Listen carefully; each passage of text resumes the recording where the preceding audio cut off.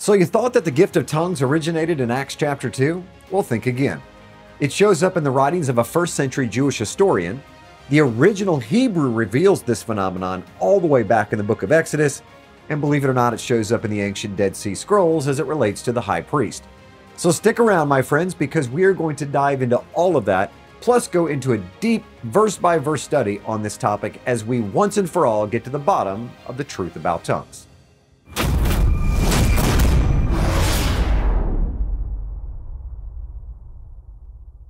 Hello, everyone. I'm Jim Staley, Passion for Truth Ministries, and I'm excited about this particular topic. No question, this is going to be a controversial topic. There are people all over the map on this. We are going to let the scriptures define themselves, and we're finally going to get to the bottom of this and we're going to unpeel this onion, this theological onion, until we get to the truth, the whole truth, and nothing but the truth. We're going to let the Old Testament do its thing. We're going to even dive into the Dead Sea Scrolls, some ancient manuscripts that talk about this tongues of fire. We're going to d- discuss and connect it to the tongues of fire that are and the fire that's coming from the throne of God, and then relate all of that into Acts chapter 2 and end in 1 Corinthians 12 through 14. So we're going to dive into every scripture on this topic. It's going to be lengthy, no doubt. It's going to be in depth, but at the end, if it's important to you, I promise, Lord willing, that you will have a final conclusion on this topic. So, before we begin, I want to encourage you if you're not subscribed to this channel, please subscribe right now and turn on the notifications.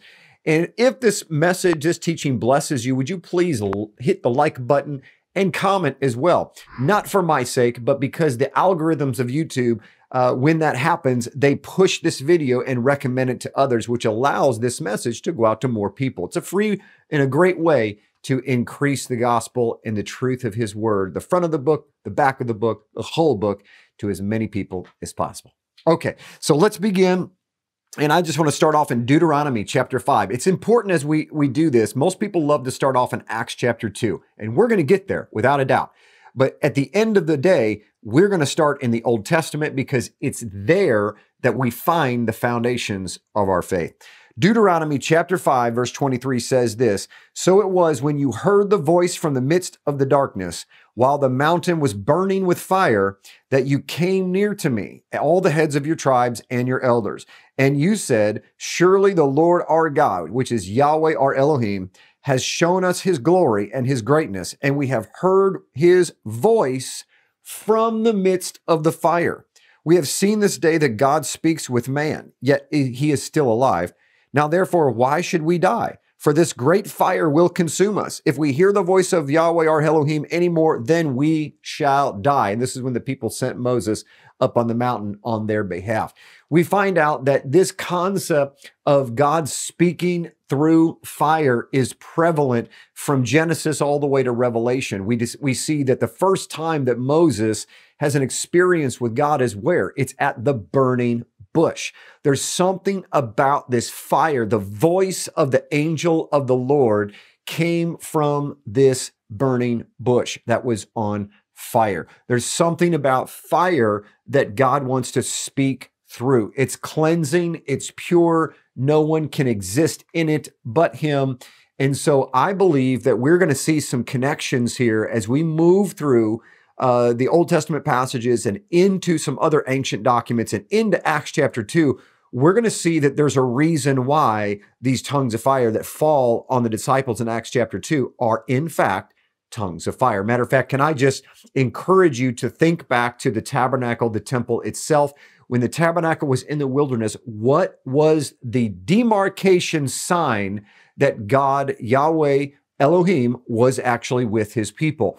It was the pillar of fire. And where was it? It was over the top of the Holy of Holies in the tabernacle. This is how they knew that God was with them because they could look up and they saw the pillar uh, of fire at night and the cloud by day, which I'm going to submit was identical because you take fire and you put it in the daytime and it literally looks like white fire or a white cloud. It was the fire of God. It was his presence that was over the holy temple showing us that his presence was with us. You for, fast forward into the New Testament, Acts chapter 2, on the day of Shavuot, and you have the same exact fire in the form of tongues over the top of what is now the temple of the Holy Spirit, each individual, showing that my power, my authority, my anointing, and my presence, and in Hebrew, that word presence is panim, which is the same word as face.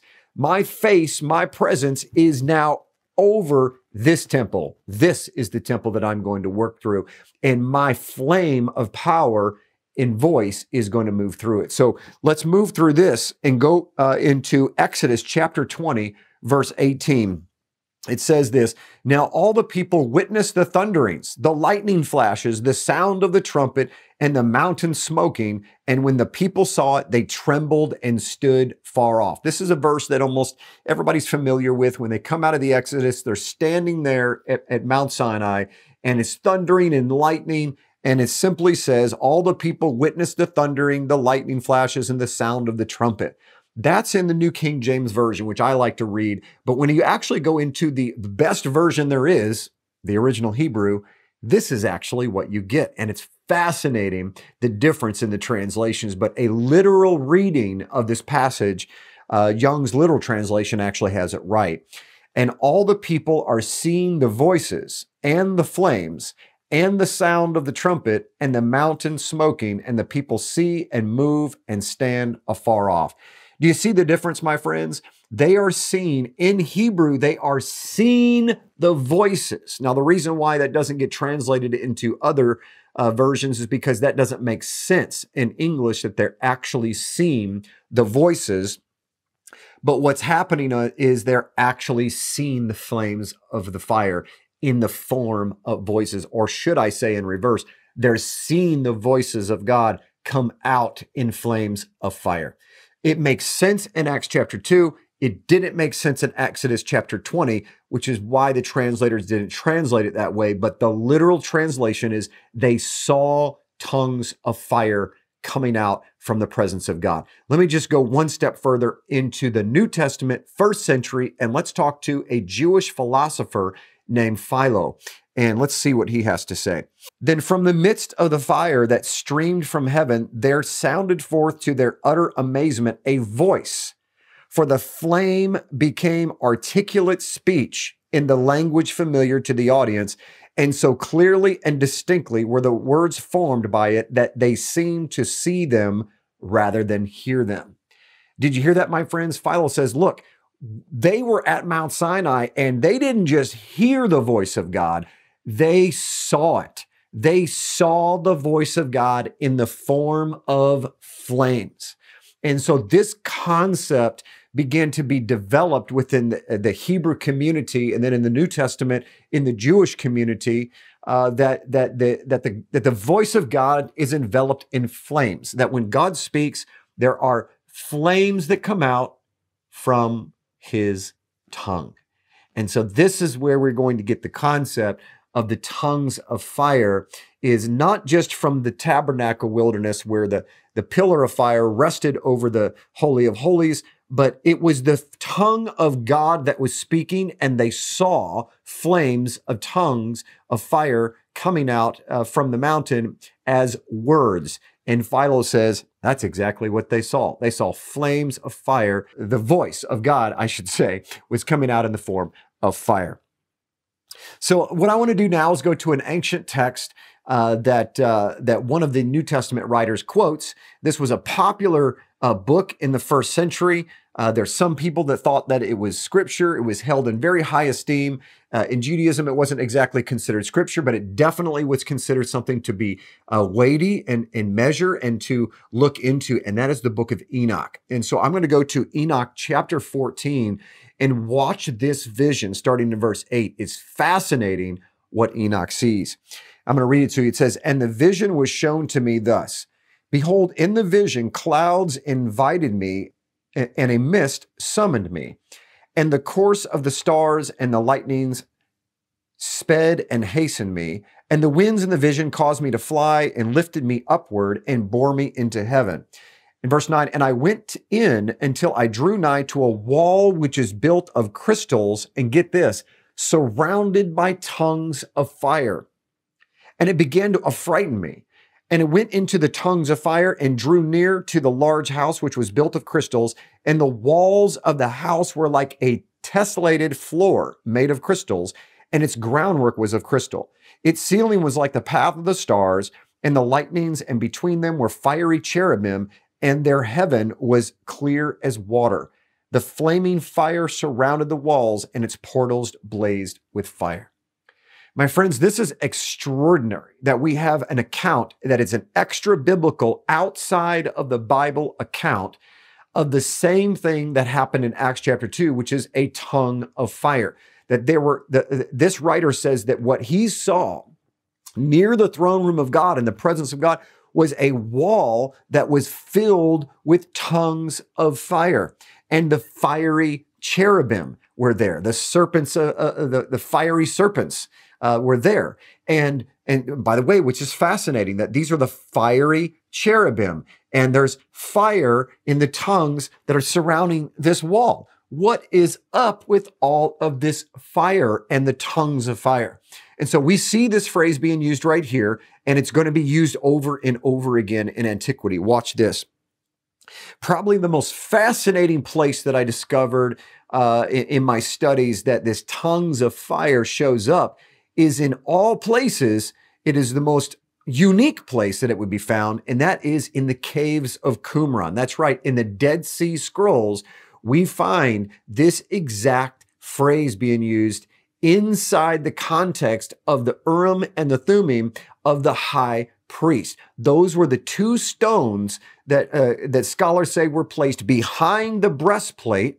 And the, of course, the breastplate is made up of the 12 stones of Israel, every one of them a different a gem color. And it was these stones of light is uh, is is literally how it's translated. Uh, they would light up from behind the breastplate of the high priest, and it would illuminate all of the gemstones that are coming out from the high priest. Therefore, being a true light, bringing forth the rainbow of colors, if you will, the promise of God being being shown through the breastplate of the of the high priest who's carrying all of the 12 tribes representing Jesus Yeshua himself but it is these light stones behind him that is causing the light to come out and these stones according to the Qumran community believe it or not were called the tongues of fire watch this it says this you can see the picture on your screen this is the actual picture of uh, the stone, or excuse me, the, the parchment of the Dead Sea Scroll that, that are in different pieces. Now, granted, what I'm going to read you is parts. They don't have the entire paragraph. They, they're missing little bits and pieces. And so they put it together the best that they can. So I'm going to read it to you as it's read uh, in the Dead Sea Scrolls. Even though there's some missing words, most of the context, you can put it together. It says this the stone just as the Lord commanded, and your Urim.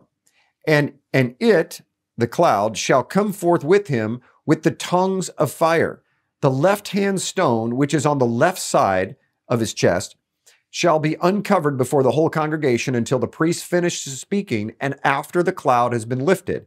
And you shall keep, the prophet has spoken to you, who counsels rebellion, the Lord your God. Now you can see that there are some missing words in there, but you can kind of get the context. They're talking about the high priest coming out. He's got the Urim and the Thummim with him, and these tongues of fire, one on the left and one on the right, uh, are going to give him the, the capabilities of prophesying to Israel. It goes on to say, the right hand stone, when the priest comes out, these tongues of fire from the right hand stone, uh, from and after he goes up, he shall draw near to the people.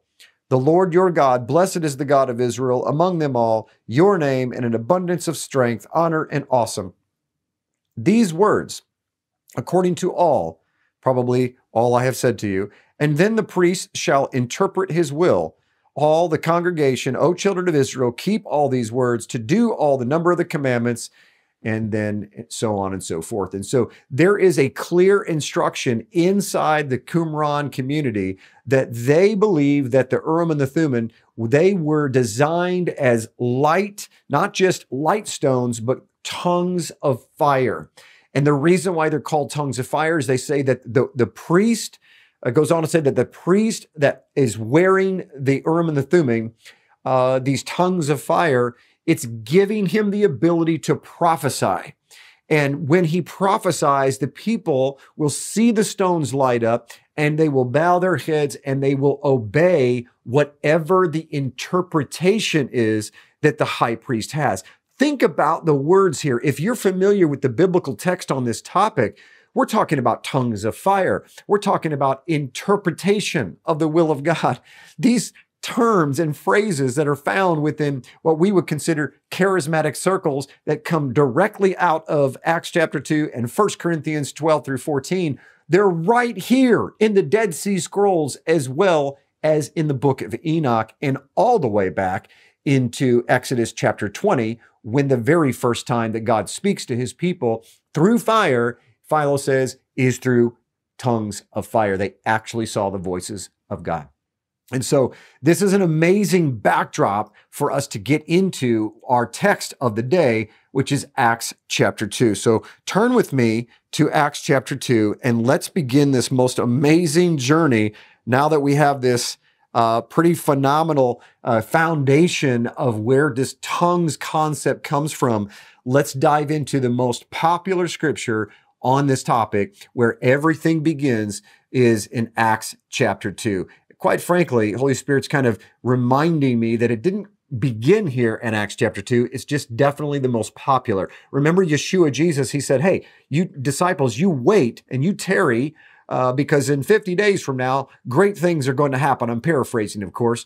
And that's exactly what they did. 50 days from Pentecost, according to the Torah, we find, excuse me, from Passover is the feast of Shavuot, the feast of weeks, or better known in Greek as Pentecost. They get to, to Shavuot, they're all celebrating the feast days of the Lord like they should because they are children of God. They're not following the the holidays of the Gentiles and the holidays of the world. They're following God's feast days. They're following God's holidays. They're in the right place at the right time because they're doing Bible things in Bible ways. And in that moment where they're in that upper room and there's 120 people there, something phenomenal happens. The creator of the universe manifests himself and his love for mankind in his son Yeshua, Jesus the Christ, who takes on the sin of humanity, dies, is buried, rises on first fruits, Yom Bikurim, and 50 days later is a, a transformation of the word of God from a single flame to infinite amount of flames. And this is the story and where it picks up. By the way, this is the second half of what happens on Mount Sinai. Because at Mount Sinai, God was had his intention was to give them the Holy Spirit. They were all supposed to be a kingdom of priests. Every one of them, but they refused to be a kingdom of priests. They couldn't handle the voice of God. So they say, Mo, you go up to the top of the mountain. You just tell us what he wants us to know. And it's at that moment, uh, in, in the surrounding context, that only one tribe was chosen to be the priest of God, and the rest had to be standby. They literally, I believe, they put aside and put asunder what they were going to get was the Spirit. They received the truth of the Torah and the commandments and the Word of God, and they were supposed to get the Ruach, the wind, the Spirit of God infused with it so that they could take the Spirit and they could take the, the Torah, the truth, they could put it together and they would not have to have any men teach them. This is what Jeremiah 31 is all about when it says that when the new covenant is fully inaugurated, which it has not been, and we just have the down payment for it, no man will need to be teaching any other man because everybody will know exactly what to do. You know why? Because there'll be a perfect infusion of the Spirit into every believer that is carrying the truth, and the Spirit will teach them all things. So let's get back to the text. In Acts chapter 2, we have now the Spirit is going to be given on the same type. This is the same day that the commandments were given. Uh, it was thought that the commandments were given on Shavuot, and now 1400 years later to the day, God finishes what he wanted to do, and he's going to give them his spirit so that a true worshiper can be formed. Here we go. Chapter 2, verse 1, it says, When the day of Pentecost had fully come, they were all with one accord and in one place. And suddenly there came a sound from heaven as of a rushing mighty wind, and it filled the whole house where they were sitting. Then there appeared to them divided tongues as of fire, and one sat upon each of them. And they were all filled with the Holy Spirit and began to speak with other tongues as the Spirit gave them utterance. So, what we see right here is we see that the disciples were in the upper room and a rushing mighty wind came in, and we're about to duplicate what happened on Mount Sinai with these tongues of fire. It came down. Now, knowing the backdrop of the uh, the context both in Judaism and in the Old Testament in the Tanakh of what this tongues of fire were, and even inside of the Qumran community, look at what the, how much more depth that we are adding to this moment. Because what's happening is, is the tongues of fire that were found inside of the breastplate of the high priest that gave him the ability to have a prophetic connection into the spirit realm and interpret the will of God. That's what it said that they were for, that these stones of light, these tongues of fire were for interpreting the will of God to the people that they were to, to obey. And they would illuminate the breastplate of all 12 tribes. Now we have God Himself coming down out of the heavens in the form of voices of fire, tongues of fire, straight from the throne of God. The tongues of fire that were around the walls that preceded as a gateway into the, into the creator's throne room that's surrounded and, and enveloped by the fiery cherubim, these same fire that is coming straight from the throne of God, straight from his wall, straight from his presence, excuse me, straight from Mount Sinai, the same presence of the Holy Spirit is coming down and the very Urim and the Thummim, the very stones of light that brings prophecy are given to his people. No longer do they need a high priest to tell them the will of God. God was saying, look, my high priest died on the cross for you, and he split himself as the fire of God into every single voice that's out there. And now the very fire that brought the prophetic inklings into these stones, I'm giving you these stones. They are going to live inside of you. You are going to be can I say, living stones? You're going to be living stones. These living stones, you are the Urim and the Thummim. For those that believe, I'm going to give them the power of my Ruach. And from that moment forward, that 120 is going to be a, a, a light to the nations. That the prophetic power of the Holy Spirit is going to shine through them, the breastplate of righteousness.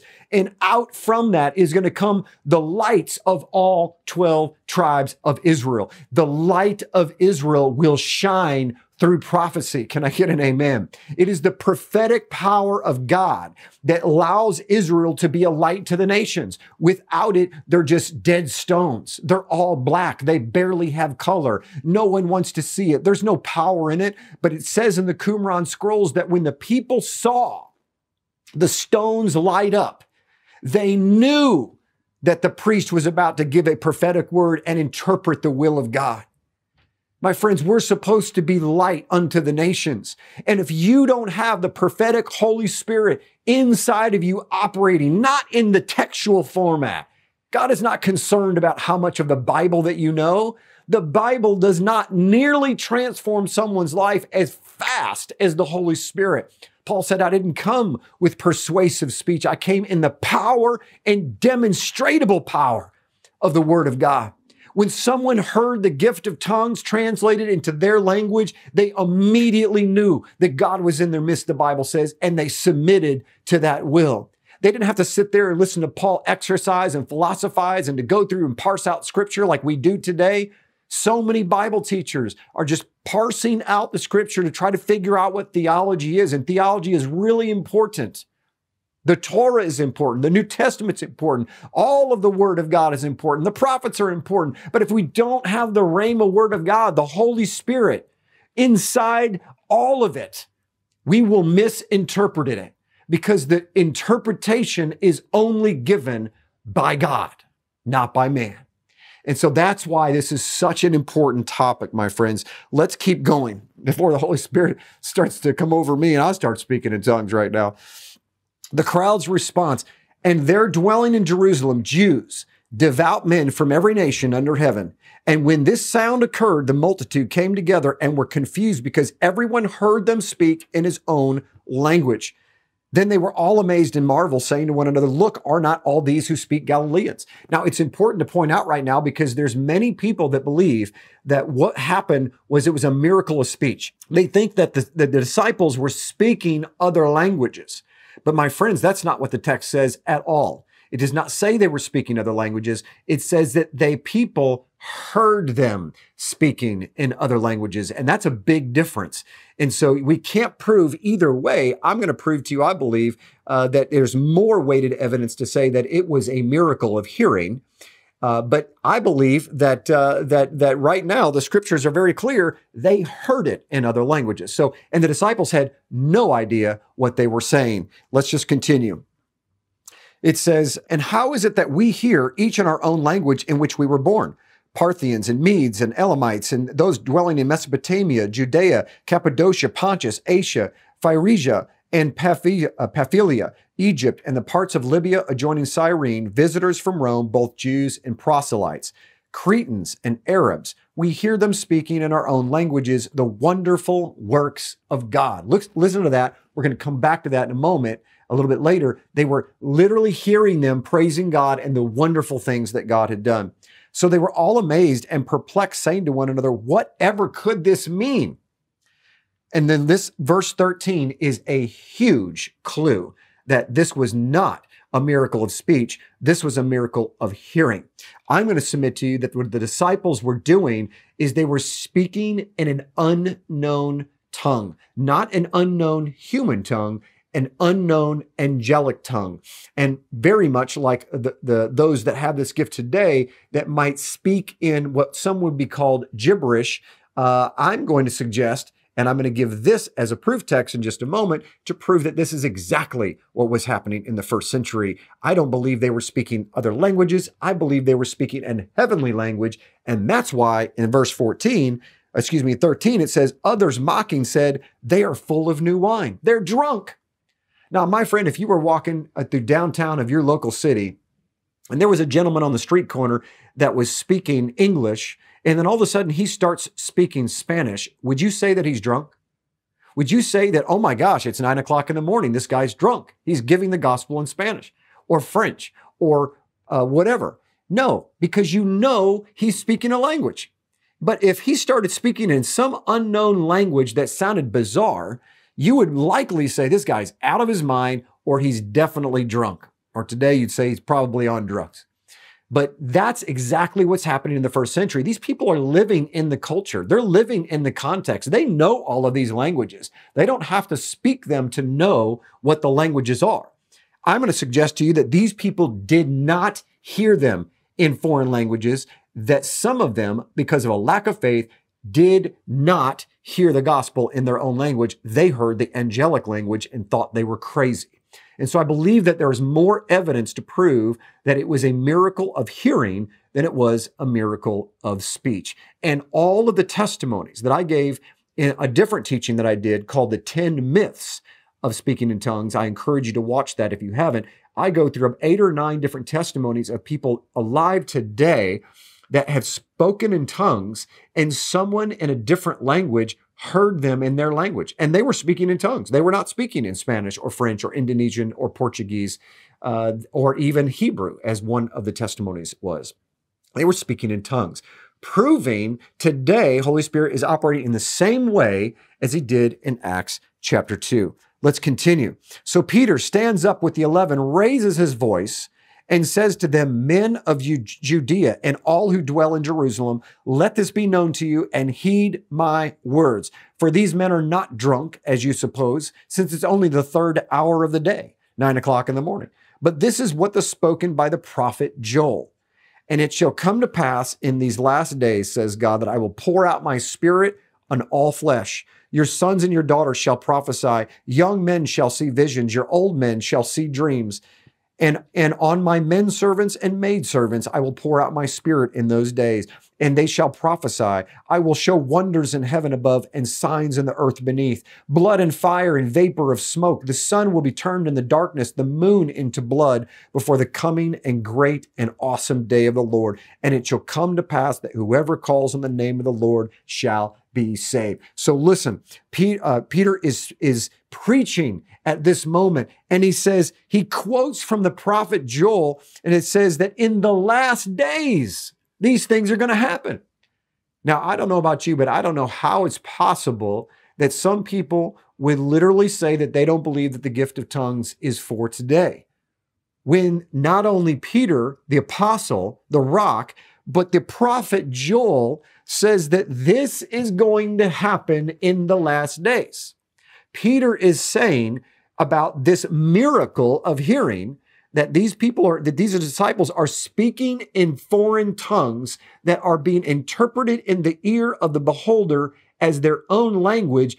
He quotes Joel as this is what Joel said was going to happen. And ladies and gentlemen, it wasn't the end days. So how much more that we are now six days from creation 6,000 years from creation, about to embark on the final Shabbat when the Lord of hosts comes for his bride and takes her into the Feast of Tabernacles, the marriage supper of the Lamb, how much more will God pour out his spirit? Because this is what Joel was actually talking about, was this time period right now. Peter just knows prophetically that it began. The last days began when the Messiah died and rose from the, from the grave. But this is the fulfillment of the final days, the end days, is the time that we're living in. So if it was applicable during his time of this gift of tongues, how much more is the Spirit going to pour it out today? Let's move now from Acts chapter 2, which is the beginning of all of this incredibleness of God pouring out his Spirit, and let's move to Acts chapter 10. In Acts chapter 10, of course, we see this is the famous uh, moment where, where Cornelius, the first Gentile, gets saved, and there's this four cornered sheet and a vision and all of these things that are happening. And then at the very end, Peter starts preaching again. So, Peter, apparently a pretty good preacher, amazing things happen when he preaches. He begins to preach. So, go to verse 44 with me and read with me. While Peter was still speaking these words, the Holy Spirit fell upon all of those who heard the word. And those of the circumcision who believed, which is the Jewish uh, believers, were astonished, as many as came with Peter, because the gift of the Holy Spirit had been poured out on the Gentiles also. For they heard them speak with tongues and magnify God. Then Peter answered, Can anyone forbid water that these should not be baptized who have received the Holy Spirit just as we have? And he commanded them to be baptized in the name of the Lord. Then they asked him to stay for a few days. And so this is very clear passage in Acts chapter 10 that at the very end of this incredible, amazing vision that Peter and Cornelius have, uh, in this encounter where God wanted to take the gospel of Jesus Christ, of Yeshua HaMashiach, and take it to the Gentiles and expand this into the earth realm, that he does so through a supernatural sign where all the Jewish believers that came down from Jerusalem could not say a single word. Remember, the Gentiles were unclean animals. That's the whole point of the vision in Acts chapter 10. This had nothing to do with food. The Gentiles were called unclean animals. And they Peter thought it was about food, but then when you get to verse 28, he realizes in verse 28, he says this, then he said to them, You know how unlawful it is for a Jewish man to keep company with or go out or go with one another uh, of another nation. But God has shown me that I should not call any man common or unclean. He thought it was about food. God was just using unclean animals, not to tell Peter you can eat whatever you want.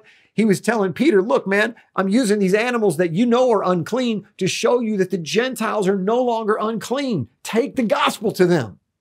And of course, we have preachers that take that completely out of context and say, look, now God's telling us that we can eat unclean animals.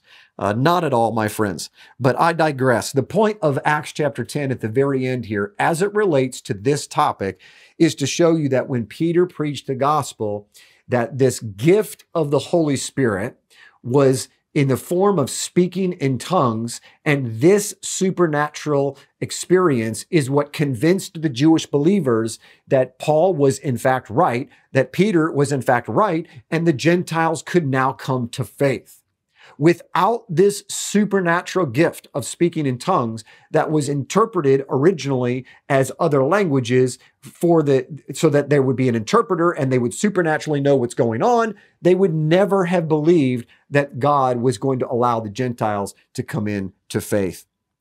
Let's go from here over to Acts chapter 19 same book.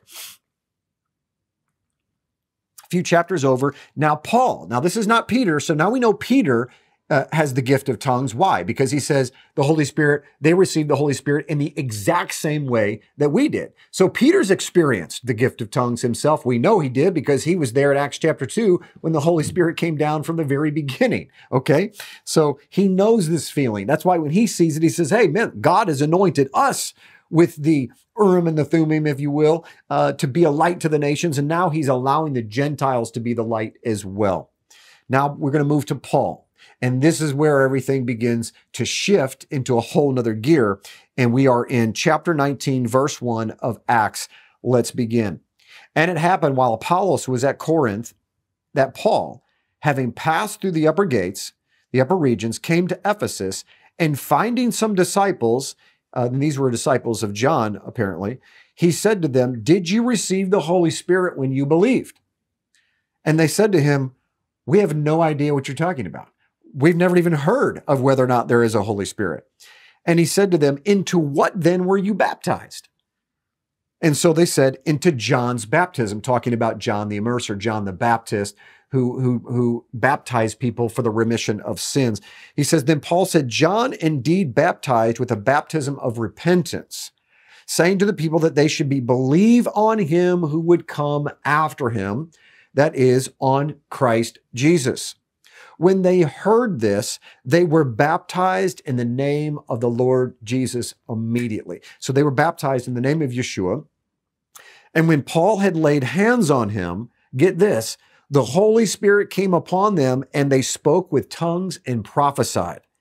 Now, the men were about 12 in all. This is called the Ephesus Dozen by many scholars because it was this small group of men that they believed uh, in repenting before God, before Yahweh, the, the God of Abraham, Isaac, and Jacob, John the Baptist said, Look, you got to come out of Egypt, if you will, come out from the dogma of the Pharisees and the Sadducees and repent and just follow God through the very uh, simple written word of the Torah. They did that. Paul comes along and says, Look, I'm going to tell you one thing that goes beyond that. Remember when John said that he was just setting the forerunner for the next one? That next one was Christ Jesus. That's who you need to be baptized into. And when Paul laid hands on them, the Holy Spirit dropped. They gave, uh, God gave them the gift of tongues and they began to prophesy.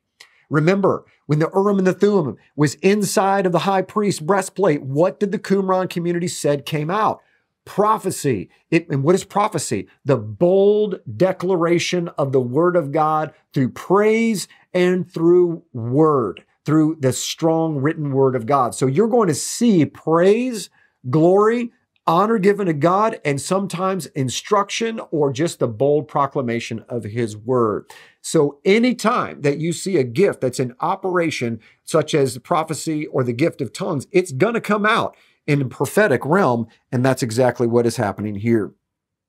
So now that we have finished all of Acts, let's move to the fun chapters that seem to confuse theologians and lay people alike. Let's move over to 1 Corinthians. So let's start off in 1 Corinthians chapter 12.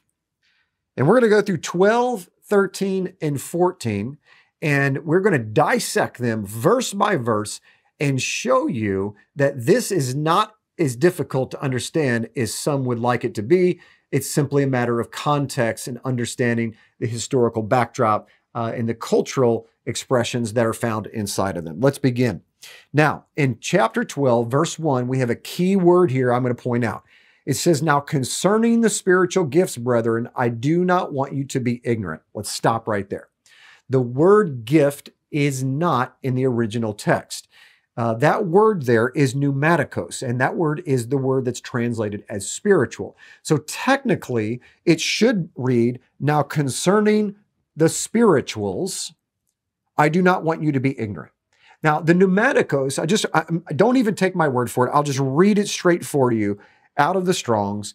Pneumaticos means non carnal, okay, non human, ethereal as opposed to gross, okay, a spirit or divinely supernatural, okay, spiritual. That is what pneumaticos means. Pneumaticos is where we get the, ter- the, ter- the English term pneumatic, such as a pneumatic drill. A pneumatic drill is what? It's an air driven drill. It's driven by air. So we as human beings, we're supposed to be pneumatic. We are not driven by our carnality, our lust of the flesh. We are driven by the inner man and the air that is on our spiritual lungs. It is the wind, and that word in Hebrew is ruach. It is the spirit of God, uh, which is what spirit and wind are the same exact word in Hebrew. It's the spirit, the wind of God, the air of God that's supposed to drive us. Okay. We're not supposed to be carnal. We're supposed to be spiritual. And that's what this scripture is all about. He's about to tell you the reason why I'm laboring this point is because the whole next three chapters are not about carnal gifts. They're about spiritual gifts. They're about air driven gifts. They are not gifts that you learn.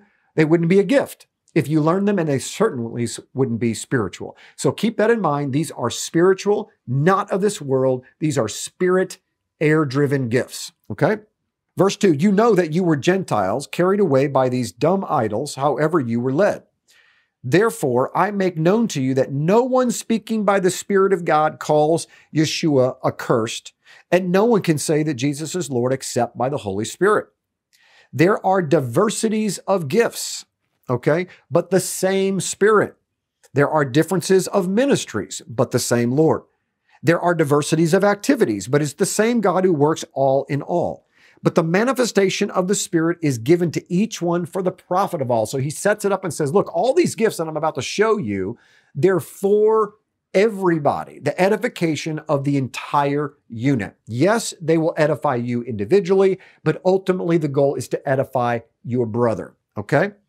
He says, For one is given the word of wisdom, verse 8, through the Spirit, to another the word of knowledge through the same Spirit, to another faith by the same Spirit to another gifts of healing by the same Spirit, to another the working of miracles, to another prophecy, to another discerning of spirits, to another different kinds of tongues, to another the interpretation of tongues. But one and the same Spirit work all these things, distributing to each one individually as he wills. Now, there will be some people that will teach against the gift of tongues as if it is a carnal, earthly, only a human language and it's simply a guy that's translating the Hebrew into the tongue of the day, and it's simply an interpretation, and so on and so forth. If that is the case, my friends, we've got larger problems in the in the uh, the textual uh, the, the the textual context that that says, quite frankly, otherwise, because it says that some are given different kinds of tongues to another the interpretation of tongues. If this was a regular carnal gift, why would it be listed inside the spiritual gifts that do not come from man, that come from God? Is anybody going to have the audacity to say that they have the gift of prophecy and they learned it? Or the gift of faith and they learned it? God says these are gifts. Have you ever lacked in faith? Have you ever thought about that? Faith is a gift, according to this scripture. We should be asking the Father for more grace of faith, more power of faith, an increase of faith. You can't just decide yourself, I'm going to have more faith. No, what you're doing is you're having the faith for the faith because faith comes from God. It's a gift. So you start off with saying, God, I don't know how to do this, but I'm going to ask you for faith because I don't have the faith for this. But I do have the faith that you can give me what I need for my situation. We're going to skip down to verse 28, where the context becomes relevant again. And he says, God has appointed these in the church first apostles, second prophets, third teachers, and after that miracles, then gifts of healings, helps, administrations, variety of tongues. Are all apostles? Are all prophets? Are all teachers? Are all workers of miracles? Do all have gifts of healing? Does everybody speak with tongues? Do all interpret? But earnestly desire the best gifts, and yet I show you a more excellent way. So Paul ends the chapter by saying, look, or he starts off the chapter by saying, these are the spiritual gifts. The gift of tongues is one of them. The gift of interpretation is one of them. Okay. And then he says his, his point was, is that everybody's a member of one body. They're all coming from the same spirit. And he says, not everybody has these gifts. I wish that everybody could have these gifts, as he's going to tell us here in a minute, but not everybody has. Some people believe that you can't be saved unless you speak in tongues. This, that is heresy, my friends, and it goes directly against the scriptures because the scriptures tell us that not everyone has the gift of tongues. And why would you pick out the gift of tongues anyway? Just because they that that was one of the main uh, uh, uh, emblems and symbols of when someone that God was accepting the Gentiles was they He gave them the ability to prophesy through tongues, so that people that uh, that were Jewish there that didn't believe the gospel should go to the Gentiles now recognized that God was choosing them. How else was God going to get their attention but through a supernatural gift of prophecy through the gift of tongues. Faith wouldn't have done it by itself. So the Holy Spirit chose to use that, and then entire denominations twist that and say, oh, you have to be uh, speaking tongues in order to be saved, when it's very clear that we are all baptized into one spirit, many gifts. One of them just happens to be the gift of tongues, of which we're talking about today. So the greatest gift, Paul says, here's all the gifts, but I'm going to show you a more excellent way. So if you want the gift of tongues and you want prophecy and you want faith, Paul says, listen, I'm going to show you a better way than all of that combined. And he says, though I speak with the tongues of men and angels, but I have not love, I become a sounding brass or a clanging cymbal. Paul says right here, uh, listen, listen, well, I'm just going to keep going. And though I have the gift of prophecy and understand all mysteries and all knowledge, and though I have all faith so that I can remove mountains, but I have not love, I have nothing. Paul makes it really clear that no matter which gift that you want, no matter how much knowledge that you have, no matter how much faith you have, if you don't have the gift of love, you have nothing. You will have dead stones on your chest you will be a decorated high priest that can't speak the words of God. The people won't recognize it because they'll see a bunch of accoutrements. Some people come into the front of the book, as I like to call it, they, they, they, understand the roots of their faith, and then they just fill their lives with, with more traditions and doctrines of men than they had before. They put on the accoutrements, they look good, they feel like they're new people, they're more spiritual than anybody else, but they lack the lightning rods of the stones of light, the tongues of fire, the prophetic power of the Ruach HaKodesh living inside of them. So the people don't see it. And here's the saddest part is most of the people have never seen the power and, and, of God operating through uh, the spirit of the living God through a man. And so they don't even know what they're missing. I don't know about you, but I want the power of God to operate through me. I don't want to operate in the flesh. I don't want to read the scriptures to you and give you my interpretation. I want the Spirit to come through me and illuminate the stones in your breastplate so that your, your breastplate becomes lit up like mine. And the next thing you know, that we are all becoming a light to the world and we're showing them the power of Israel on the chest of the Messiah. I don't know about you, but this stuff excites me. But Paul is just saying that, that look, and by the way, I want to point this out. It says right here, though I speak with the tongues of men and of angels. Now, there, there are detractors that will say Paul is using hyperbole, and he is. He's not saying that he speaks in all the tongues of angels and has every single kind of faith. And, and, and, he's using hyperbole. He's basically saying, if I had everything in the world and I spoke every language of, and, uh, uh, uh and the uh, language of angels and I had all faith, but I didn't have love, I would have nothing. He's definitely using a bit of exaggeration and hyperbole. But the fact that he literally says tongues of angels in the context of him teaching about the gift of tongues and highlighting the gift of tongues. Not that he's just, it's, it's just a little bit here, a little bit there. He's highlighting the gift of tongues in a very large way. And he happens to say, whether I speak in the tongues of men or the tongues of angels. If it was not possible to speak in the tongues of angels at all, I don't believe Paul would use this. And it's a bit uh, strange and coincidental that he's using this phrase right in the middle of his teaching on the gift of tongues. Let's continue. Move down to the very last verse in chapter 13. And of course, everybody knows this verse, one of the most popular verses in the Bible. And now abideth faith, hope, and love. And the, these three, but the greatest of these is love. And so he's showing you that out of all the gifts that are out there, there, there, there is a greater gift. There is a greater entity. There is a greater power, and it is the power of love.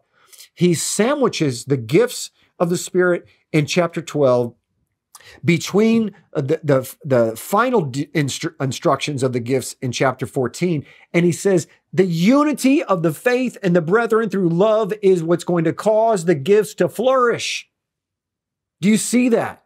It's it's in between every single instruction on this. Whereas we as, as 21st century Western Greco-Romanized you know, Greek parsing out Bible theologians and students, we look at the scriptures and we say, this Bible verse says this. But the overarching theme of what Paul is trying to say in 12, 13, and 14 is these are the gifts. They're powerful. I want you to use them. But dead center between my discussion on all this is the unity of the faith through love. If you don't have that, forget about it. None of the gifts are going to mean anything.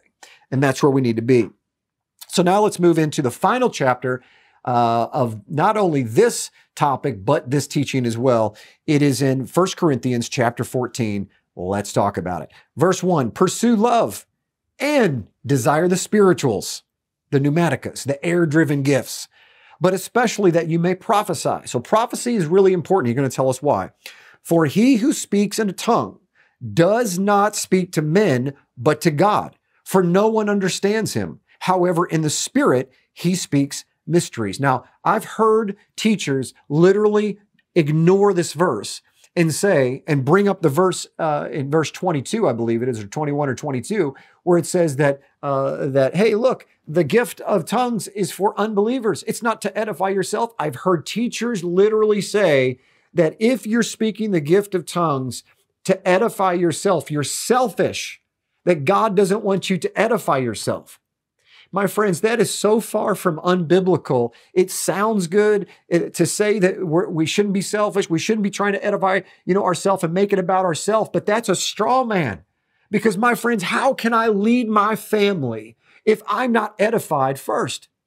If I don't edify myself in the Word of God and I don't immerse myself in the presence of the Most High, how can I lead my wife and my children?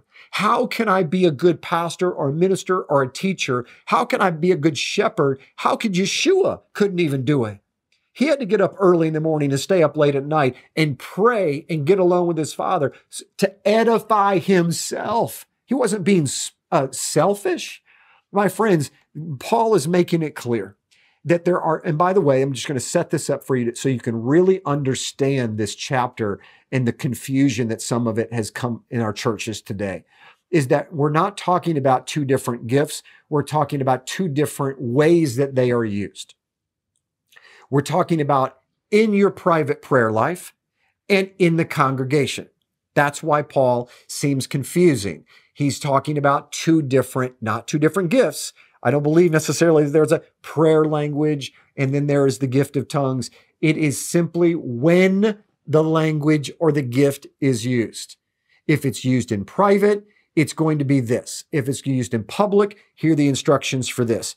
And, and I'm going to prove that to you because it's going to make a lot of sense as we walk through here. This is why he says right here that if you speak in a tongue, you're not by yourself, you're not speaking to anybody. No man can understand you but God.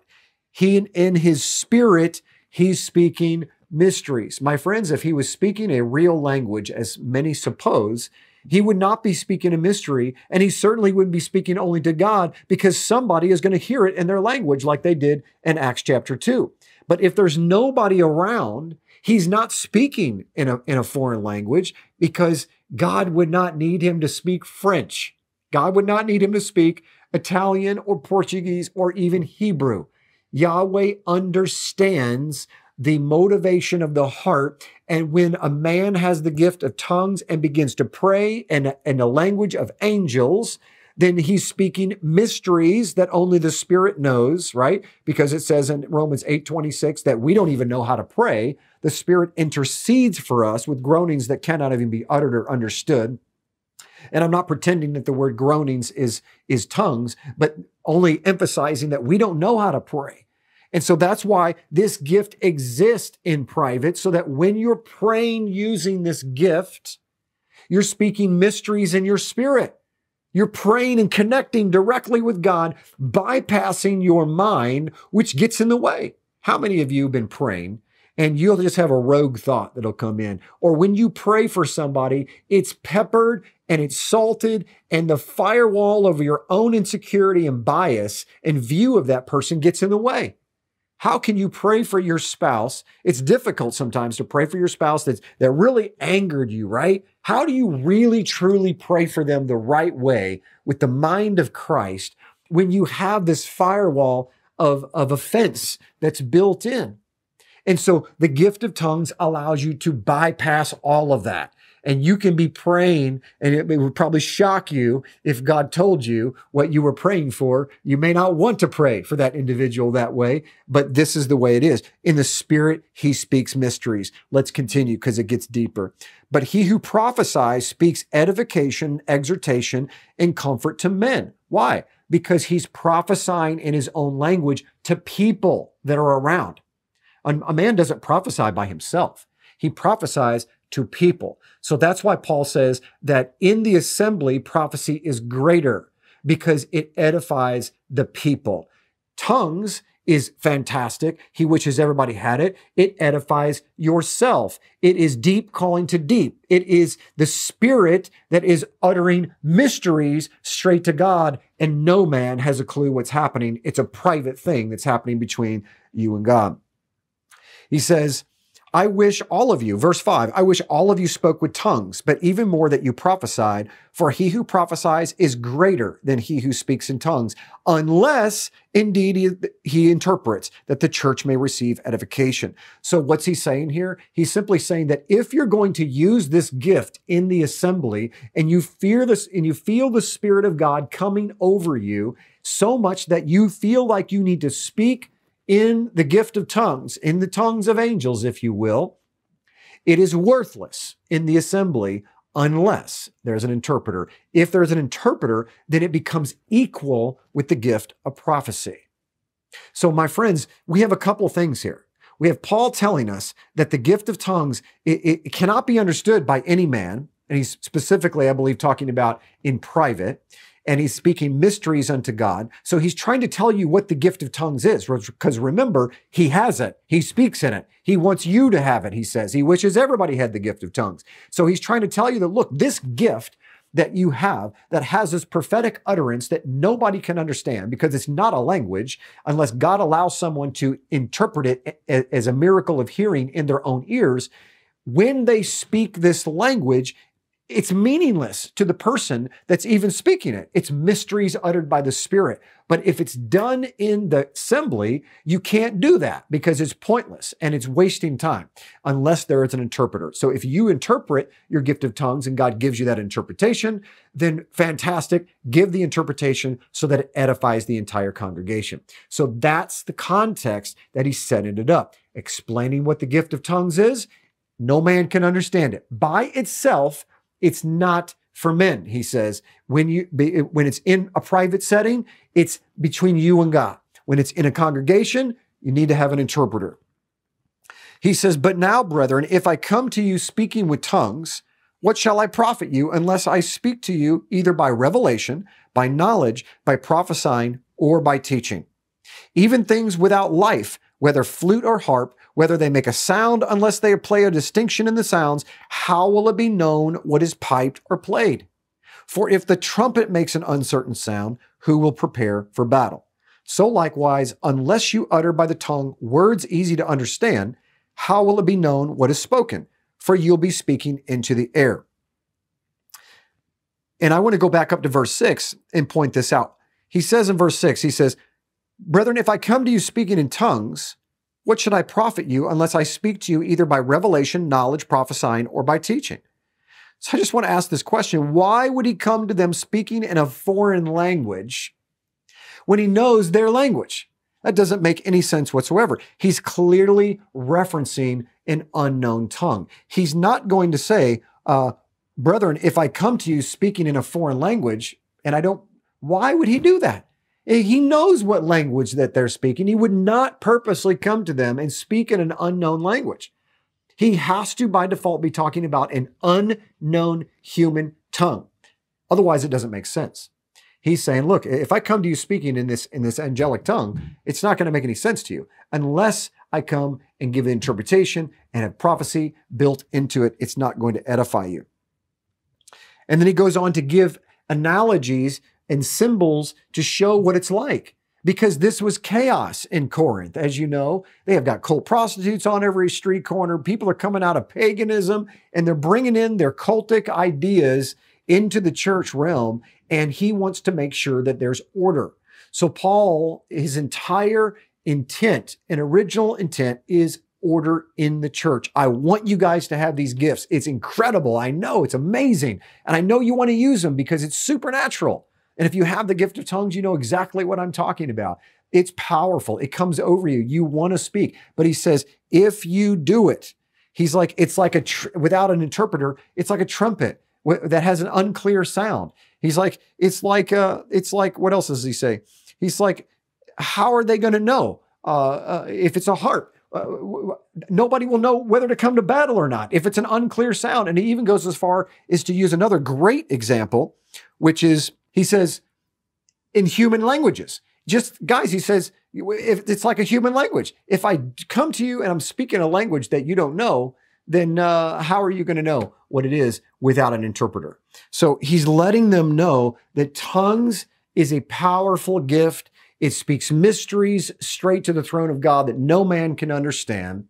But if you say it in the assembly, you got to have an interpretation. Otherwise, it's it's it's pointless. And he said, hey, I don't want a hundred people using this gift because you got listen, the dozen in Ephesus, they all have the gift of speaking in tongues. If they all show up at a congregational service and everybody's speaking in tongues, uh, that's a problem because then nobody gets edified with that gift. Let's continue. It says in verse 12, he says, Even so, since you are zealous for spiritual gifts, the pneumaticos, let it be for the edification of the church that you seek to excel. In verse 13, it says, Therefore, let whom who speaks in a tongue pray that he may interpret. For if I pray in a tongue, my spirit prays, but my understanding is unfruitful. What is the conclusion then? I will pray with the spirit, and I will also pray with understanding. I will sing with the spirit, and I will also sing with understanding. By the mere fact that Paul says that he can pray in tongues proves that he can turn it on and off at will. This is not something that just the Holy Spirit comes over you and like takes you over and you have no control. Uh, no, that doesn't work like that. The occults work like that. Uh, the Kundalini spirit works like that, but that's not how the Holy Spirit works. The Holy Spirit, when he comes over you, you will feel the unction, but you're still in full control. Unfortunately, over the last couple of decades, we've seen revivals break out and we've seen uh, unclean spirits that try to hijack those revivals uh, using this uh, the, these type of things where people get locked into positions, they start shaking and jerking and falling on the ground. They have no control of themselves. The Bible says one of the gifts of the Holy Spirit is self control. So if you don't have any control, it's probably not of the Lord. Okay. And so, but I think it's really fascinating uh, that Paul says that uh, he says, Therefore, let him who speaks in a tongue pray that he may interpret. For if I pray in a tongue, my spirit prays, meaning that he can pray in a tongue just like that. And certainly, he's not talking about praying in a foreign language, my friends, because that would make no sense in the context. Paul is not going to pray to God in another language besides his native language. That's just, it, it, that's ludicrous. It doesn't make any sense. He's talking about the unknown human language. It's the only interpretation that logically makes sense. He is coming to God. He's going to pray in a tongue that makes no sense to his mind. It's unfruitful to him in his mind. He has no clue what he is saying. Okay. This proves that Paul is praying in an unknown tongue. And this gift allows him to do so. And he has no idea what he's saying. And that's why he says, What's the conclusion? I'll pray with the Spirit. What does praying with the Spirit mean? It means that he's praying in tongues. He's praying with the Spirit. Now, there's some people that will say that praying uh, with the Spirit is not praying in tongues. It's praying in alignment with the will of God. I'll give you that. It absolutely is praying in alignment with the will of God. But the Bible says in Romans 8 26 that you can't possibly do that very well at all. You don't know what to pray. That's why the Bible says the Spirit intercedes for you.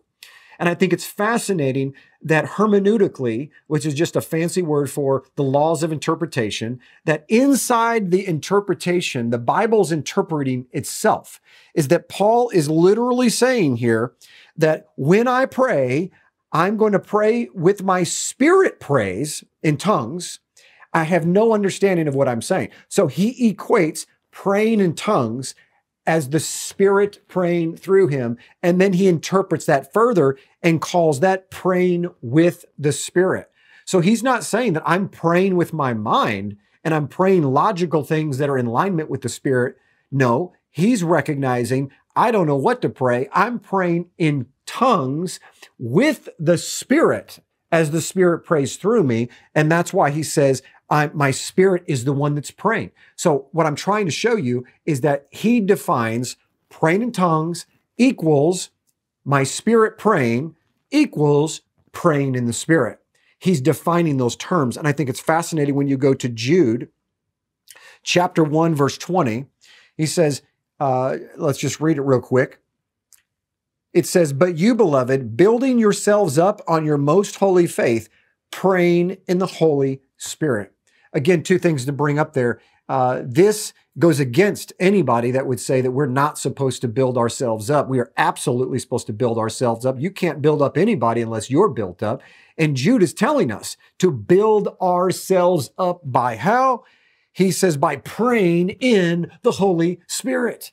And I think it's fascinating. Although I can't prove that he's talking about speaking in tongues, it is interesting that he is using the almost identical phraseology that Paul uses when Paul says praying in tongues is praying in the Spirit. It's praying with the Spirit. So, uh, all that to say is it's very interesting because Jude is telling us that we need to pray in the Spirit and edify ourselves. Paul tells us that praying in tongues edifies ourselves, and it's called praying with the Spirit.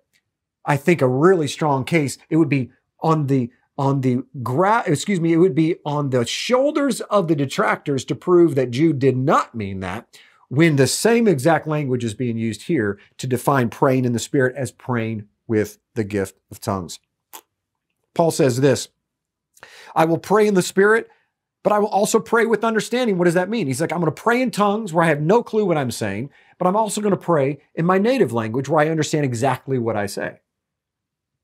And then he says this he says, I will sing with the Spirit and I will also sing with the understanding. Now, there's no good, logical, exegetical way for a Bible student or any kind of pastor, minister, theologian to, to say that Paul is talking about singing with regular words in his own language.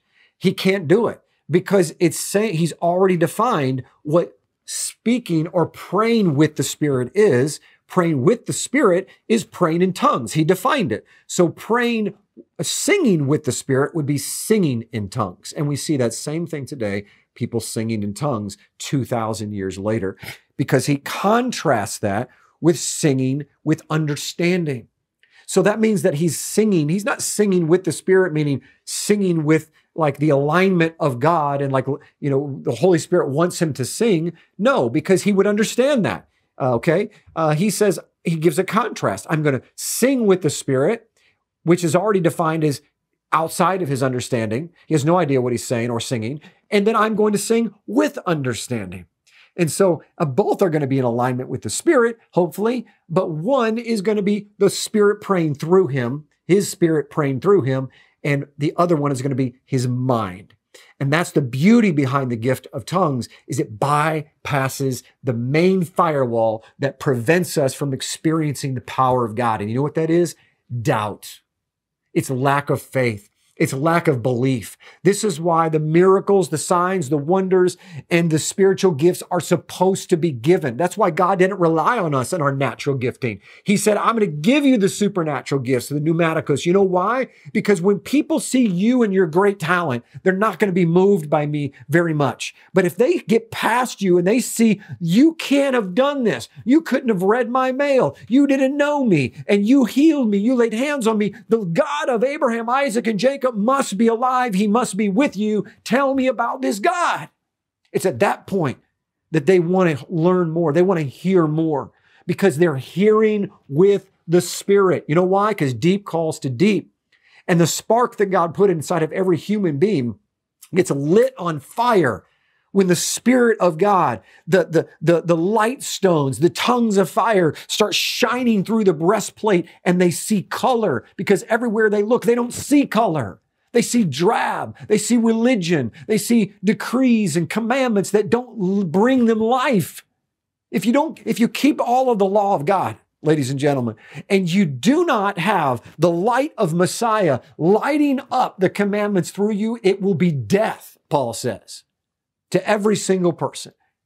But when we have the light of Messiah operating through us with the gift of prophecy and the Spirit moving in us with these tongues of fire, I'm telling you, it will light up the breastplate in this age at the end of time like no other time in history.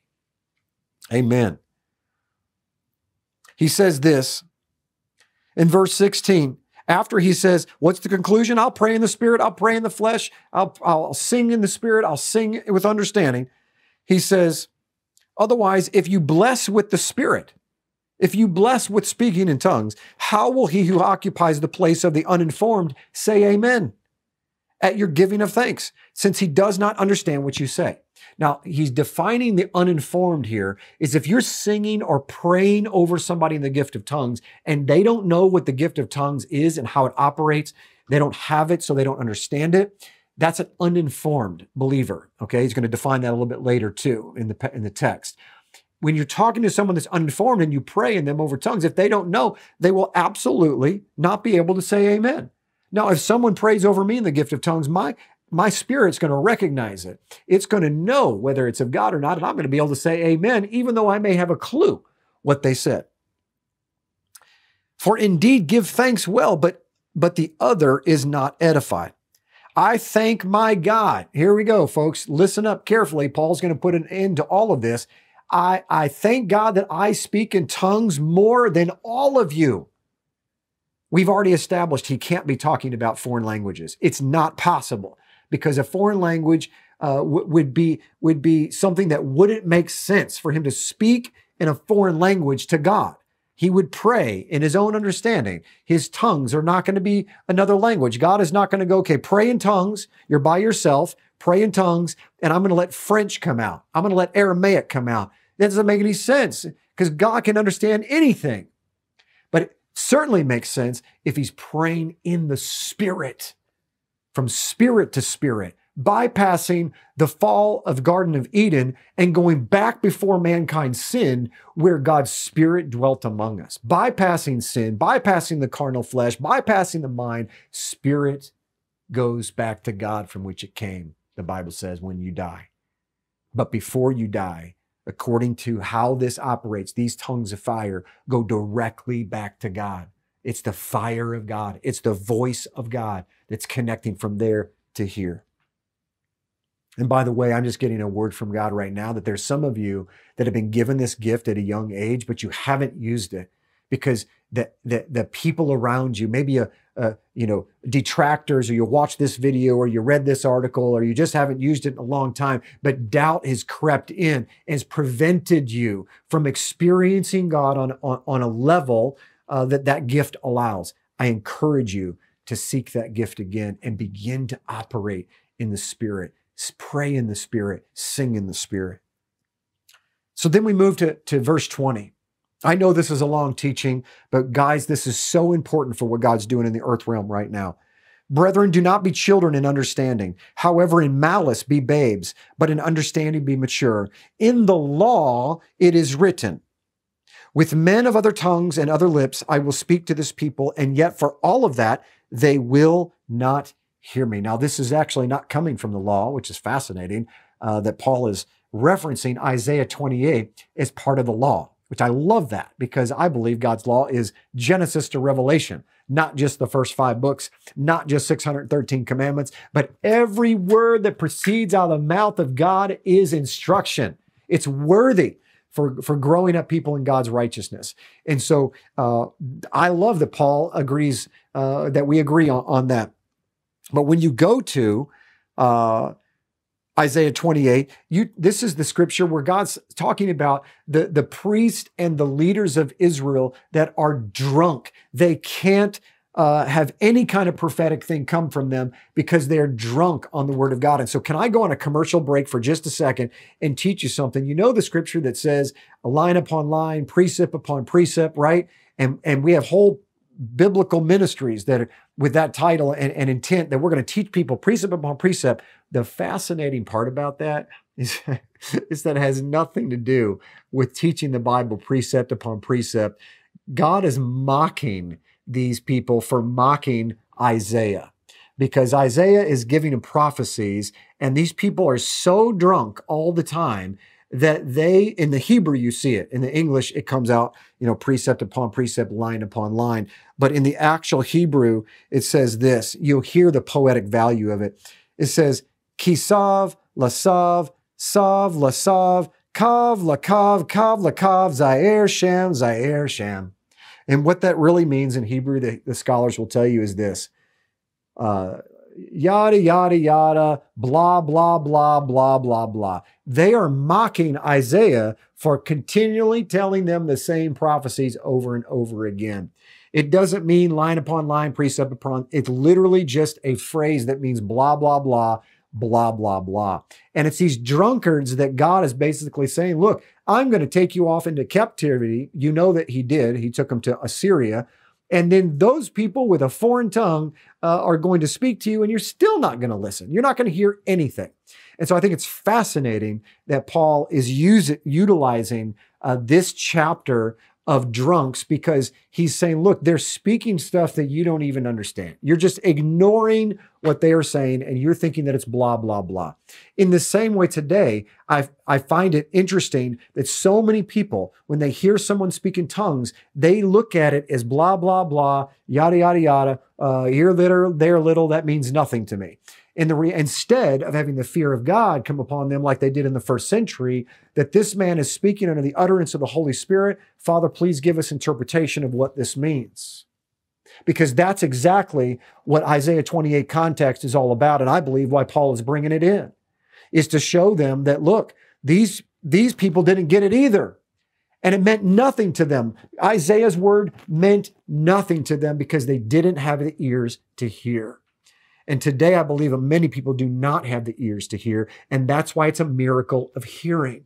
But when we have faith and when we believe, and we have that childlike faith, you'll begin to hear the words of God more clear, both in text and in the spirit. One quick story a lady tells online who follows our ministry that she was a brand new Christian, didn't know, come here from Sikkim, didn't know anything about the gift of tongues.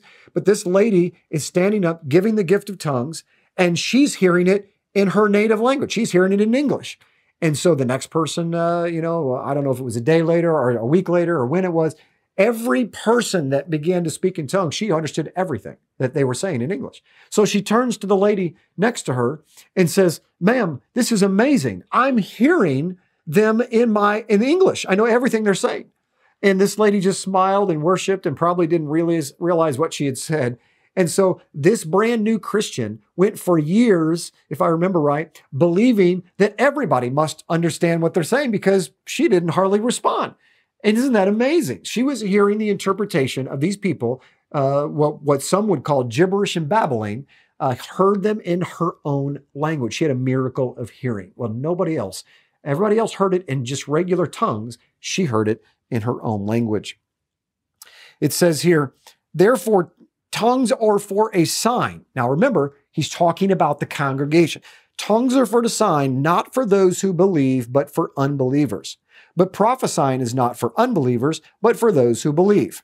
Now, Paul here is using hyperbole again. We can't take him and parse him out as being completely literal because we know that he's wrong about prophecy only being for uh, believers because we know that the prophets prophesied directly both to Israel and to uh, the foreign nations. There were pagan kings that had prophecies put over them, and there were Israelite kings that had prophecies put over them, so on and so forth. We know that all prophecy is breathed by God, and a, the gospel itself is prophecy that goes to unbelievers. And so it's, and when someone gets saved, it edifies the person that gave the gospel, not just that person. So Paul is just being generic here, not necessarily 100% specific. And again, we know that from the context of scripture, and we know that he uses hyperbole a lot uh, to get across a point. Uh, as do many of us that use sarcasm to try to get across a point, and sometimes that sarcasm backfires on us. I know that in my own life. But he says, uh, so the majority of the time, if I could rephrase this, tongues is for unbelievers. Why? Because when they hear uh, the word of God in their own language, and God gives them that miracle of hearing, that's a powerful tool to convince someone to start serving the God of Abraham, Isaac, and Jacob, is it not? But we also know that there are times where tongues is given even today, and someone will hear it in their native language, and they're both believers. That happened to me uh, when I was uh, speaking in tongues once uh, in a family Bible study, a prayer meeting, and my daughter heard me in English. Uh, she heard me both in, in, in, in tongues very low, but she heard me loudly in English. God was telling her, converting the words into English syllable by syllable. So even though some of my uh, tongues was repetitive, she said every time that I stopped on a phrase, God would stop, the English would stop. And when I stopped at the very end, she said it was absolutely mind blowing because I had no idea that you were stopping. I thought maybe you were just going to pause again. But the story that God was telling me was over and it stopped the second you said the last word. The last word in English came and it was the end of the story. That's an incredible thing, my friends. And, uh, and so she had the miracle of hearing as well. And we were both believers. Therefore, if the whole church comes together in one place and all speak with tongues, and there come in those who are uninformed or unbelievers, Will they not say that you're out of your mind because all these people are speaking in tongues? and nobody has a clue what tongues is all about. And so it's going to be a detriment uh, for those that are uninformed or unbelievers. But if all prophesy and an unbeliever or an uninformed person comes in, he's convinced by all, he's convicted by all. And thus the secrets of the heart are revealed. And so falling down on his face, he will worship and report that God is truly among you. Now, the reason why it says uninformed person is he's contrasting to an unbeliever. So you have an unbeliever, and it does, and that doesn't matter if they're informed or uninformed. They're completely uninformed just by the mere fact that they're an unbeliever. The opposite of that is an uninformed believer. So you've got a you got an, an unbeliever, and you have uh, informed believers, and you have uninformed believers. What's an uninformed believer? An immature believer who is ignorant of the knowledge of what's happening in that congregation with the gift of tongues. So he says, Look, if I come in and y'all are speaking in tongues, I'm informed. It's not going to offend me. I'm going to get it. Y'all are out of order, but it's not going to offend me or, or hurt my walk with God. But if I walk in and I have no clue what's going on, I don't know what this gift of tongues is, and I'm not understanding what anybody's saying, uh, this is a turnoff uh, to the gospel. Now, I want to say that how many times in churches today you will see uh, everybody speaking in tongues all at one time. And there will be some that will say that that is out of alignment. I will say that they are half true because I believe that if everyone is informed in the assembly and people are just quietly praying in the spirit, like Paul's talking about, quietly praying in English, all right, it's no different than if you had 20 different people there representing 20 different languages and 20 different countries.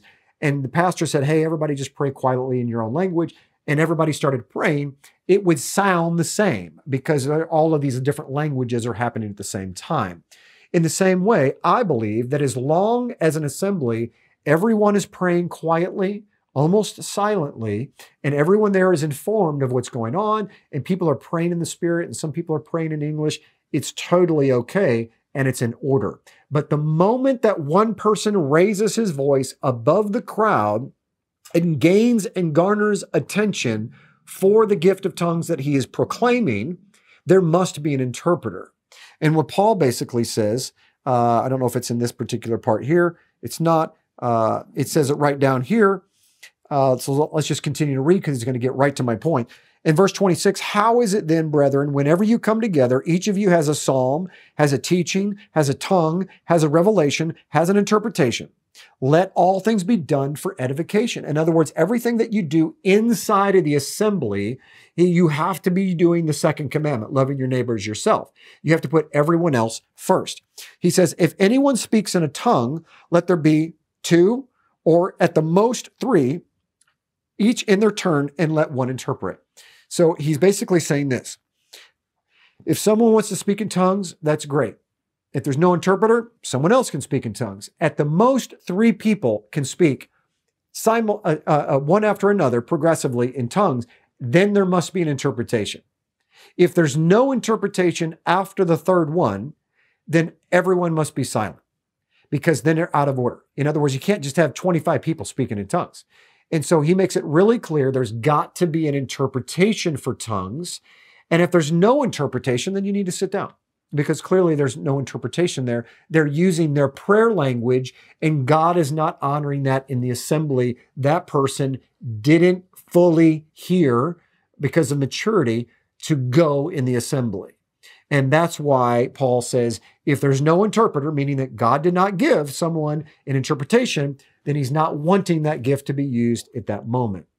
There are times when God will give a gift of tongues and put it on someone to speak in the assembly. They will speak, and there will also be an interpretation. And sometimes the interpretation is someone hearing it in their own language, and they're the actual interpreter. I'll never forget my late friend, uh, Brad Scott, one of the greatest uh, in my opinion, theologians and, and, and Bible teachers of all time. He was on the History Channel, had an incredible ministry, traveled the world teaching in almost probably every country out there. And he tells this incredible story about how he was in a Baptist church. They were having a revival meeting. And at the end, uh, because they'd opened it up to the public, this gentleman came up and actually spoke in tongues. And uh, this couple tells this story that they were on the way home after the service was over, and the wife was complaining to her husband because she was so upset that her pastor allowed this to happen. And she began to say, Can you believe, honey, that this guy spoke in tongues? That's so offensive. We don't even believe in speaking in tongues as, as Baptists. And the husband said, What are you talking about? That was the most beautiful prayer I'd ever heard in my life. To the shock of the wife who heard it in tongues, her husband didn't even know that he was the interpreter.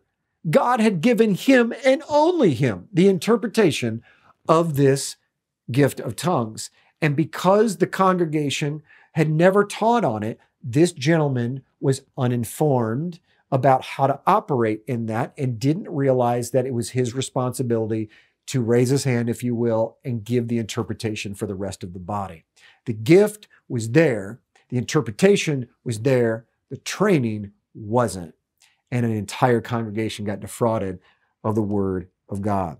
This is why Paul says there's got to be order. The intention is going to be to edify the congregation. And it's also fascinating, I believe, that he's pulling on, if you know anything about, uh, you know, synagogues of the first century, there was a uh, in, there was also an interpreter that was there in the synagogue for the natural language. So they would speak many times uh, the Torah or the prophets in Hebrew. It was required, even in the in the uh, in the Talmud today. It, it, it gives instruction way back when that you're supposed to speak it in Hebrew, read it in Hebrew, and then it would be translated by the translator.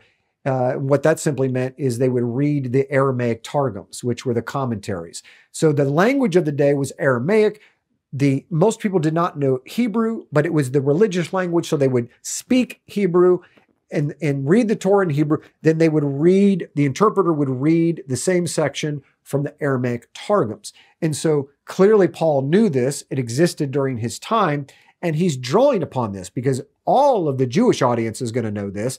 And he's going to say, look, I'm giving you an example. It's eh, eh, it's just like when we have one, two, or three people read the Torah portion in Hebrew, then you have to have an interpreter. Okay, you can't just keep reading in Hebrew, or the or the people are going to get bored that I have no clue what you're saying.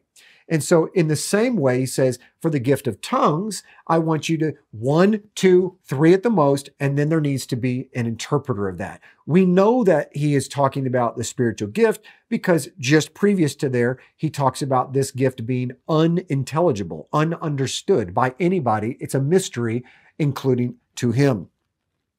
And he says, and the spirits, verse 32, of the prophets are subject to the prophets. For God is not the author of confusion, but of peace as in all the churches of the saints. All right. And then he talks about the women in churches and how they need to keep silent. Not that they need to keep silent today. He's dealing with a very specific problem in Corinth of, of women prostitutes that and, and women uh, uh, cultic priestesses that were leading churches in Corinth that were coming in becoming uh, believers in Christ and then taking that bold, courageous attitude and disrupting the services that are inside those congregations. So Paul says, look, I'm cutting it all out for y'all.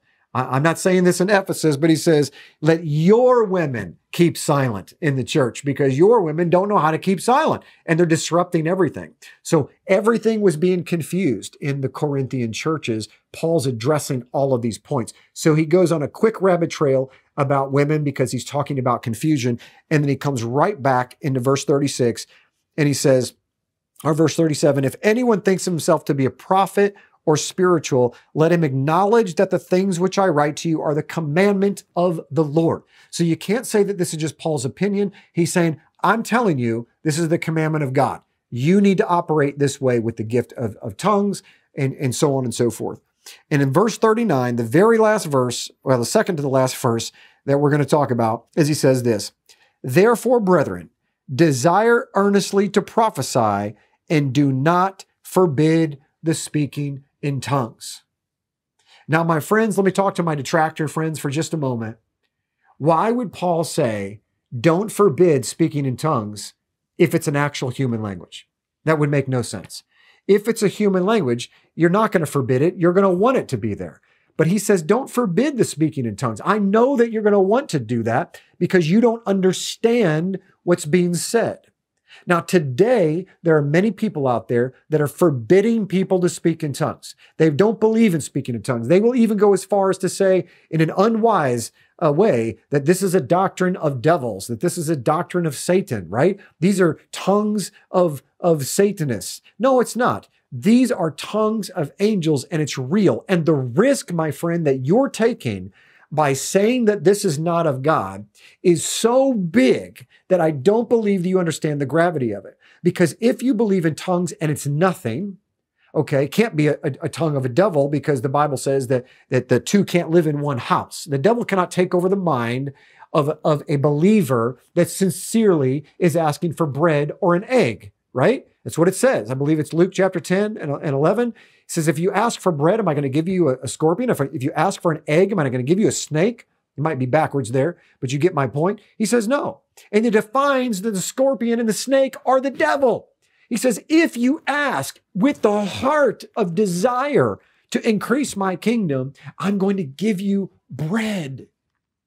So if someone's asking for the gift of tongues, you're telling me that, that, that, that Satan is just going to take over their voice? No, it's not a doctrine of a demon.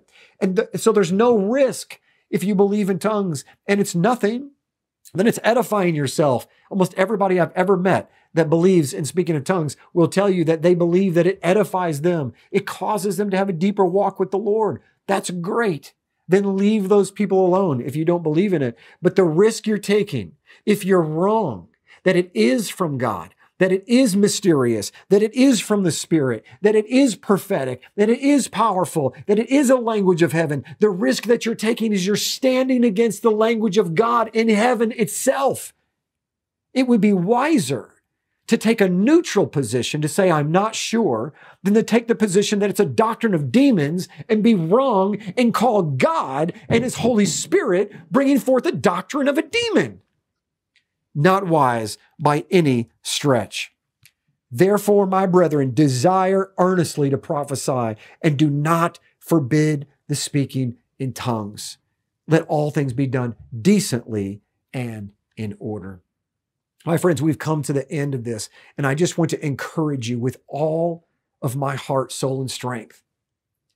Take a look at this gift because what's happening in the earth realm is the enemy has tried to replicate it, to imitate it, and to counterfeit it for decades because he knew the time would come when the great last Hebrew revival would happen and he knows what happens before the coming on the clouds is a great and terrible day of the Lord. And before that, there is a revival of the word of God, and the famine is going to be over, and there's going to be an outpouring, like Joel said, into the earth realm, and people are going to see visions, dream dreams, and they will speak with unknown tongues. So Satan, I believe, has brilliantly cast a shadow of doubt over this for decades by infiltrating unlearned men and uninformed leaders of charismatic movements that did not know enough about the front of the book and the foundation stones of their faith to know and have the discernment of when it's a spirit of God and when is it a spirit of an antichrist. When is it a kundalini spirit and when is it the Ruach HaKodesh? They couldn't discern it. And so Satan took the gift of tongues, the gift of angels, which his own minions have, but they're fallen, and he puts them into the light language of New Age movement. He puts it into Hinduism, and he puts it all over the place. And so that the unlearned would say, look, it can't be from God because the New Age movement uses it. It can't be from God because Hindus use it, and the chakras, and so on and so forth. And the unlearned miss the power of God because Satan literally counterfeited it. He wouldn't be putting it into all these cultic religions if it wasn't real. He's scared, ladies and gentlemen. You know why? I'll tell you why he's scared. Because the gospel went around the world to every tribe and to every tongue because of the gift of tongues. Everything started in Acts chapter 2 when the Spirit of God came down and it rested on the heads of men in the form of the, of the power fire of God, the tongues of fire, the Urim and the Thummim. Was only two rocks that were inside of the high priest. And Yeshua, through his death, multiplied them like mountains and gave every believer these stones to brilliantly cast the lights of Israel to the nations. And Satan is scared to death that this gift would find its root with the truth. Because when you mix the truth with the spirit, you have a true worshiper and he can't stop a true worshiper. He can't even slow them down because he hates the light. And when the prophetic comes out through the chest, the strength and the wind, the pneumatica, pneumaticos comes out of you. He gets blown away. It's a true sound like the shofar blast for the Israelite priests to bring forth the soldiers and call them to war. That is the power of the Ruach HaKodesh, the Holy Spirit that's about to be poured out today. And I believe that's why this teaching is so important. And so if you have believed that this gift is not real, I encourage you to give it another look, repent and believe and ask God to show you and make it real in your life. And if this is a gift that you desire and you want, like Paul says, I wish you had it. I will say, I wish you had it. It's one of the most powerful instruments in my life. The word that God gave me on January 12th of 2022 that ended up being like a 10 minute word from God came from 35, 40 minutes of praying in the spirit. And then God gave me interpretation word for word. I wrote it down as fast as I could. You can get the link in the description and watch that word and you'll see what I'm talking about that when God speaks through his spirit, amazing things come out that transform lives. Ladies and gentlemen, I ask if you desire to have the gift of tongues, that you would ask the Father, that you would desire it, that you would seek it, and you will find what you seek. Now, He gives to only those He wills. He may not choose to give it to you, but don't stop asking. I know people that it took years before God gave them this gift, and it transformed their life when they received it. And you know how it started? And many times, sometimes it just came out as, as, as, as the gift and, and, tongues, as a full language. Many times they had to start out and bypass the mind because they were so scared to speak something that they didn't understand that they had to literally just speak something, just a noise that comes out. And then God, from the moment that they by faith began to just make noises, the noises and the syllables turned into a language. And that's how I received it. I didn't receive it like instantaneously, like some people. For me, I began to pray. My grandmother actually helped me when I was 12 years old, and uh, and she just told me to just start making noises, just start praying by faith. And as I began to make a noise, within seconds, it turned into a language, because it's by faith. You can't make the noises up. It's the Holy Spirit that intercedes for you and says, "There is the umbilical cord of faith. I'm going to infuse myself into that faith." into that noise of faith. And so let us pray. And I pray the Father will, and some of you in this video will be what's called baptized in the Holy Spirit. That's just a modern day term. It's not a biblical term, but it's a modern day term to say that the Father is going to give you the gift of tongues if you really want it. It's not the greatest gift, but it is a gift that will edify you and the church and allow the Holy Spirit by faith to infuse Himself in a deeper way. So, Father, I just come before you on behalf of your Ruach, of your spirit, your air driven power gift. And I ask, Father, that you would overwhelm by faith. Lord, I can't lay hands on people but through, through this video, Lord, but Lord, you can. And so by faith, I pray that you would baptize people in the name of your Son, Jesus Christ, Yeshua the Messiah, and you would give them this gift, not for themselves only, but for the edification of the body of Messiah worldwide. Abba, you are great and you are mighty and you are worthy to be praised. And Lord, I pray that as you baptize, as you immerse, as you fill them with the goodness of your spirit, that they would begin to open their mouth, they would begin to make noises, and you would take that noise of faith and you would transform it into the tongue of angels. That you bring prophecy, that you bring power, that you bring a deeper understanding of your word through them, Lord that the dictions would fall to the wayside. Their carnal way of thinking would be, would be null and void, Father. And they would walk, no, they would run in a deeper walk with you. Someone is thinking right now about when they were a child and when they had a, ze- a zeal for you. Lord, I pray you take them back to that place and you fill their hearts with zeal right now. Father, I pray for everyone around the world in the sound of this video, God that they will not only share the word of your, uh, of your scriptures, Father God, but they will share the, it in power and in, in not in persuasive speech, but in demonstration of power. God, I pray that you would unleash your spirit into this earth realm again, like you did in Acts chapter 2, that your fire from heaven would come and fall down. You are so good and you are worthy to be praised. And there is no one on this earth that has the power to stop a revival of such faith. Of the truth and the spirit coming together and forming a pillar on the tabernacle itself. The temple itself will be power of, of, of the spirit and the power of the truth. Father, we praise you and we thank you and we ask that you would fall upon your people even now. Folioto kanamanata la parieta kanamanata de shuriata kanamanata de forote.